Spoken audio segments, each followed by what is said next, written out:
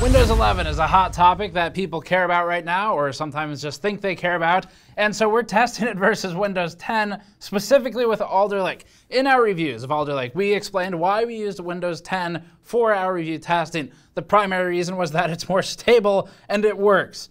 Asterisk, sort of mostly, other than the malware tendencies, but it pretty much works. Windows 11 is still new. It's getting regular updates. That makes testing something difficult. And it also hasn't known bugs, both with Intel and especially with Ryzen, that have been getting worked out. So we used Windows 10, but we said we were coming back with the Windows 11 benchmark to compare. That's what we're doing today because Intel has specifically recommended using Windows 11. Uh, and we wanted to show you why we decided it didn't really matter for our reviews process. Before that, this video is brought to you by Be Quiet and the Silent Base 802 case. The Silent Base 802 got high accolades in our review for its high build quality and its versatility in both silence-focused and airflow-focused builds. The 802 comes with swappable mesh panels or noise-damped panels, so you have options for either approach. The Silent Base 802 case is able to fit larger builds as well without being overbearing, and it stands out for its mechanics quality and assembly quality. Learn more about Be Quiet's new case at the link in the description below. All right, so as we stated in our 12900K review, we had actually already done several Windows 11 tests with the 12900K leading into the review. So before even filming that review, we had some of the data we're gonna go over here today and made the determination that actually Windows 10 is just going to be the best case for everybody for our type of testing. A couple things you need to understand. Benchmarking is not a linear thing where you just sort of hit the button and it goes. It does in fact have a lot of variables. And one of those is efficiency, where right now our benchmark suite and the suite of most reviewers looks at basically raw performance in a given task. And we sometimes do things like streaming benchmarks we do multiple things at once. But for the most part, a measurement of just efficiency or the performance per watt is not something that's too commonly done. We take that number for Blender and some other all-core workloads, but Intel has complicated things, that's not in a bad way, with its efficient and its performance cores. And we do mean that in the sense of complicating it for good reasons. So we need to look at this again. Windows 10 was our platform because of the stability, because of the lack of bugs, and because 90% of users by the Steam hardware survey use it. Intel has, however, worked with Microsoft to make Windows 11 the ideal OS for Alder Lake, it says, for the hybrid architecture. From the reviewer's guide, quote, the performance hybrid architecture of 12th gen core processors takes advantage of critical new features in Windows 11 to improve performance. We strongly recommend that reviewers test with Windows 11 rather than previous versions of Windows. For our testing, we kept the BIOS settings exactly the same, we kept the memory the same, the cooler the same, everything the same, the GPU the same when moving to Windows 11 and the BIOS settings are obviously critical here too. We just swapped out the boot drives and we kept testing. Memory timings were kept exactly the same as they were with the Windows 10 tests. They were controlled. We continued to disable resizable bar as we did with Windows 10, and we manually disabled hardware accelerated GPU scheduling, which was off by default in Windows 10 and on by default in Windows 11. This is important to control if you want the like-for-like -like comparison without hardware accelerated GPU scheduling. You could turn them both on or both off, but they shouldn't be mixed. The most recent version of Windows 11 available through Windows Update was the one we used for all of our testing, and the same was used for Windows 10, the most recent version. So that should be enough for explaining the test test setup. In other words, it was kept the same except for the Windows OS between the two sets of data. And some of these numbers, they move a couple percent one direction or the other. For the most part, just to give you the bottom line up front, it doesn't change a whole lot. Windows 10 tends to be better on average for Alder Lake right now today for raw performance. But that's not looking at the efficiency. That means power is not a number that is in, in this equation. It's not involved in this equation for the performance metrics as we or most reviewers present them. We present power separately. Uh, this architecture has made us aware of how we might want to change that in the future. We have some cool ideas we're exploring actively. We're building new test suites for it. Should be really fun actually to do some efficiency numbers, and we're working on that. But uh, because Intel, as we said in our 12900K review, officially stated to us on record that the difference with Windows 11 is primarily with efficiency, context switching, things like that with the cores, and not with the uh, ultimate performance results. You shouldn't expect a big change. There is, however, one game where it started working and it didn't before, and there's one application that's eight years old, Cinebench R15, that was massively different. Blender cycles rendering, spawns rendered tiles per thread, and runs for an extended period of time, and that means Blender has a long test duration wherein any potential minor differences would be made obvious by getting exaggerated during that long test period. Here, however, the 12900K ended up at 9.5 minutes versus 9.4 between the Windows 10 and 11 runs. There's not only no meaningful difference, but there's basically no difference, period. The 12600K had the same experience, with the Windows 10 variant requiring 14.7 minutes to complete the test, while the Windows 11 test pass required 15 minutes to complete the render. There's no difference here. If anything, we're seeing marginally better results on Windows 10 or at least a pattern of it that will form throughout this video. Chromium Code Compile required 49.4 minutes on Windows 11 for the 12900K, with a reduction of 1.6% to the 48.6 minute result on the Windows 10 test. Given the duration of this test, we'd need to run even more retests to really confirm if there is a difference. At best, there's zero change. At worst, it's functionally without meaning. The 12600K required 71.9 minutes with Windows 10 and 73 with Windows 11, which maximally allows an advantage to Windows 10 of 1.5%. That lines up with some previous results and shows at most an advantage in Windows 10 for raw performance with the 12 series, at least in these tests so far. Efficiency is not tested in our suite for these types of scenarios, so any change there is irrelevant. It won't appear in our original reviews anyway, and it certainly doesn't appear now where we're performance focused only. We've been using Cinebench R15 as part of our CPU test suite for years now as a quick error check. If a CPU scores differently this year than it did the previous six times we ran the batch of tests, we know something's wrong. We typically don't publish these results. They're just used internally to make sure we set the benches up right. R15 is eight years old, and it has been deprecated many times over. This time, R15 was one of two pieces of software that was clearly bugged with the 12th gen CPUs on Windows 10 though, the other being Total War Three Kingdoms, which is actual software people use. Moving to Windows 11 fixed the bug, and the 12900K jumped 61% in single-threaded performance. The 12900K scored 289 in Windows 11, with just 179 in Windows 10. This is clearly a bug, and it's not representative of the experience in any of our test suite except for R15 and to some extent Total War. The 12600K even outdid the Windows 10 12900K. In multi-threaded testing, the 12900K climbed a staggering 231% with Windows 11. In fact, the scheduling was so buggy, with R15 specifically, that the 12600K outperformed the 12900K in Windows 10 despite also being buggy. Ultimately, for real-world performance, our Blender benchmarks earlier, and we'll show those again, show that this doesn't bleed into every type of tile-based render, in spite of some of the similarities between Cinebench and Blender. And even then, Cinebench R23 was next on our list. In this one, with single-threaded testing, the 12900K ended up marginally better with Windows 10, with a score of 2038 versus 2000 CB marks. That's a 1.9% climb and was repeatable in our standard multi-pass testing, showing up every single time. The 12600K was closer and within range of run-to-run -run variants, but overall unexciting. This is far less controversial than the R15 results and won't make a very good Reddit post for an angry onlooker, so we'd better move on quickly and try to find something that they can smear us with. Maybe it'll be R23 multi-threaded. That might give some ammunition. In this one, the 12900K ran at 27701 points with Windows 10 or 27415 with Windows 11. The difference nets to about 1%, favoring Windows 10 once more. This seems to be the average performance delta in most tests, at least aside from R15, and so is unexciting and as predicted. The 12600K posts similarly. The Windows 10 result is 1% ahead of the Windows 11 result, once again, we've failed to find something noteworthy of massive controversy on Reddit, and therefore we are contractually obligated by Redditors to begin making outrageous statements about AMD and Intel. Moving on, in our quest to do this, we emailed Intel to see if there was an official reason for the admittedly small performance degradation going to Windows 11, meaning the performance dropped with Windows 11. Intel's response was this, quote, there are a number of variables going from Windows 10 to 11, and many of these can impact performance. The recommended security settings, VBS, Defender, etc., may be the biggest factor where there is more going on in the background in Windows 11 than Windows 10. These settings can consume CPU cycles that could have otherwise gone to application performance.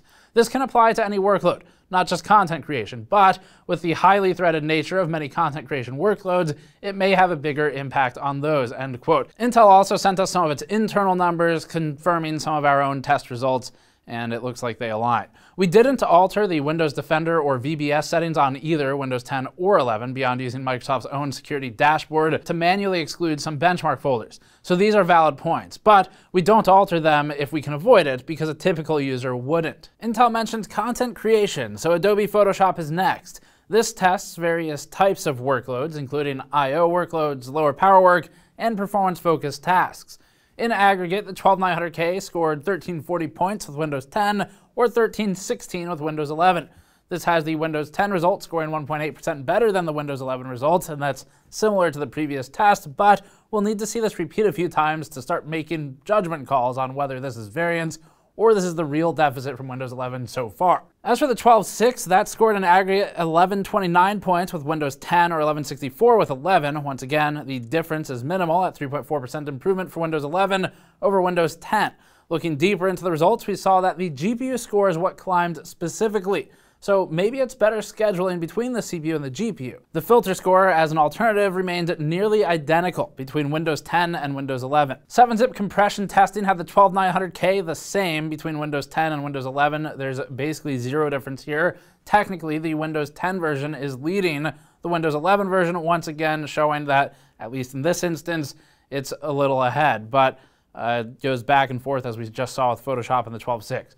The 12600K experienced the same here, once again also tied to slightly ahead with Windows 10. In decompression testing for 7-zip, we saw the same. Minor differences tended to favor Windows 10 for both the 12600K and the 12900K CPUs. Time to move on to gaming benchmarks, where workloads are more mixed and less plainly intensive on just the CPU cores. In Counter-Strike Global Offensive, the Intel i9 12900K ran at 367 FPS average in our review testing with Windows 10, yet dropped to 344 with Windows 11. That's the biggest swing so far. That means the Windows 10 results had an advantage of 6.7%. So, so much for the comments about using Windows 11 being better for our reviews process. It's almost like we made a decision informed by decades of combined experience on the team instead of just blindly copying and pasting things we've skimmed on the internet or from Intel itself.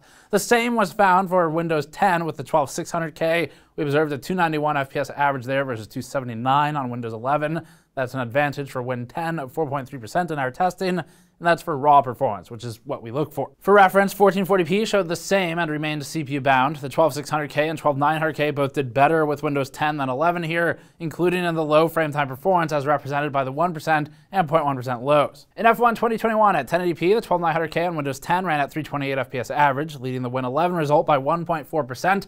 That lines up with the production tests and some of the previous tests, and so far we've established a pattern here. The 12600K did similarly. Windows 10 ran at 322 to 313 on Windows 11. The lows are mostly the same between them, with a slight proportional advantage for Windows 10. Far Cry 6 at 1080p had the 12900K with Windows 10 at 157 FPS average, 95 FPS 1% low, and 66 for 0.1% lows averaged. That has it ahead of the Windows 11 result in all three categories, with the average leading by 7.9% on Windows 10. The 12600K was advantaged in averages for Windows 10, but did post an uncharacteristically low, low result at 32.6 versus 54.7 for the Windows 11 test. In Hitman 3, the 12900K ran at exactly the same level of performance between the two tests. We're also at another limiter here, not just the CPU, at 203 FPS average. There's no difference under this constrained condition at all for the 12900K. The 12.6 posted better results with Windows 10 than 11, including the lows.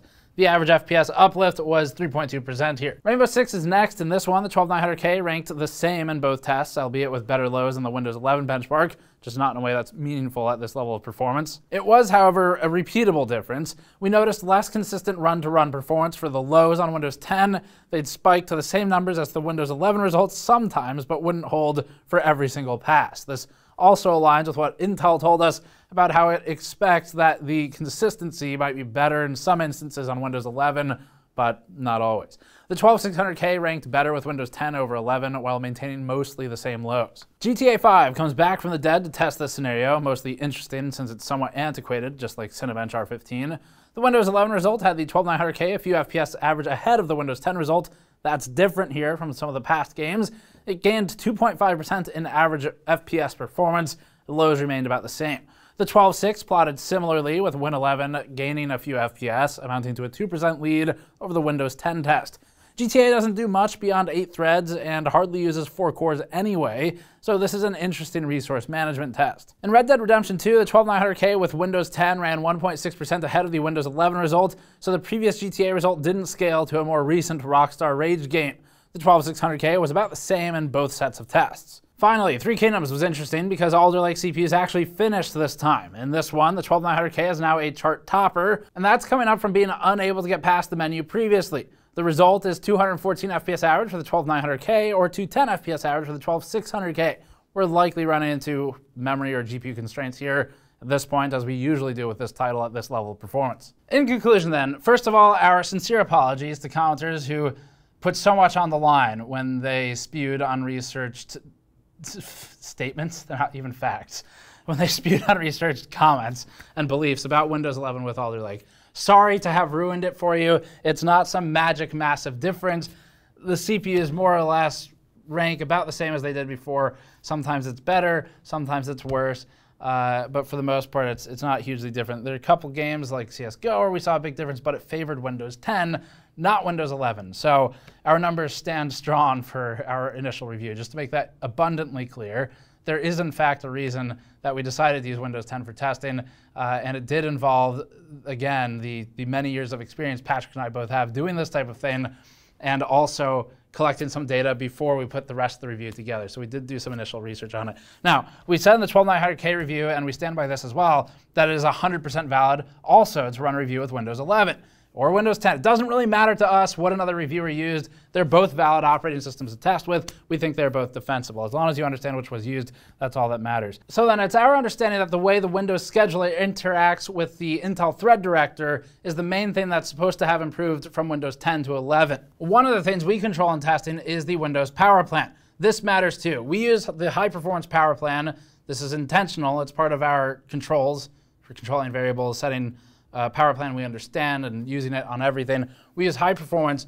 That may make some of the Windows 11 supposed benefits with Alder Lake or any CPU a little bit redundant. And uh, that also contributes to the results you'll see from one reviewer to the next. So controlling things like uh, resizable BAR, controlling the uh, hardware acceleration for GPU scheduling, and controlling the power plan, those are three key variables within Windows alone that if you're going to compare data one to the next, and you really shouldn't, you should understand how everyone ran those three settings. And again, any combination of them is fine as long as it's explained and controlled uh, for the type of data the reviewer is trying to create. So that's the basics. Now, uh, we are doing some additional testing, as said earlier, where we're starting to combine some looks at efficiency with the performance. And uh, one thing we've done in the past is streaming benchmarks where we've run a video, we've live streamed the game, and we've played the game while capturing all of that data. Uh, so you get like video playback FPS, you get the live stream upload, um, sort of the, well, you get the FPS at the end of it if there's any dropped frames, you get the gaming FPS. We've done all that in the past. We're, we dropped it because it became uninteresting since every high-end CPU did just fine with that. Uh, and streaming has sort of a baseline where it matters, and, a, and then beyond that, it doesn't matter so much. So we're adding that back in for Alder Lake and AMD's direct competition, but we'll talk about that more later. Uh, anyway, that's the basics of it. The Alder Lake E-cores are focused on multitasking, so you may see more differences there. Uh, ultimately, however, our belief right now is that Windows 10 versus 11 doesn't matter a whole lot between the two. Windows 11 solved the compatibility issue with Total War, Three Kingdoms. We don't know if it'll get solved on Windows 10 otherwise. Intel certainly is aware of it at this point and is researching it, uh, and probably so is Microsoft. But anyway, that's the, that's the differences. This is not a whole lot tends to favor Windows 10, as stated earlier, sometimes Windows 11. Not that exciting. That's it for this one then. Thanks for watching. As always, subscribe for more. You'll get to see some of our moving vlogs from when we moved here while running the CPU test in next week or so. We also have more Alder Lake content, including overclocking that we're starting to research and get into. That'll be a lot of fun. Need to get a liquid nitrogen tank out here and do some of that. But that's it for this one. Thanks for watching. Subscribe for more. As always, you can go to store.gamersnexus.net if you'd like to grab one of our toolkits, mod mats, or other items, or patreon.com slash gamersnexus. I'll see you all next time.